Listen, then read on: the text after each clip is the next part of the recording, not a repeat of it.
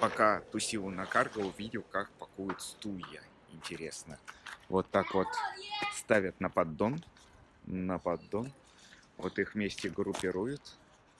Потом вон оббивают деревом еще сверху и оборачивают вон сзади скотчем. И вот так по кубам, по объему идет.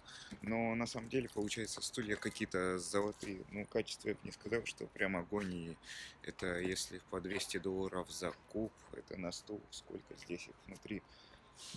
6, 6, 3, 6. 12 стульев, 12 стульев на... Это на каждый стул по 20 долларов, больше 1000 рублей на стул.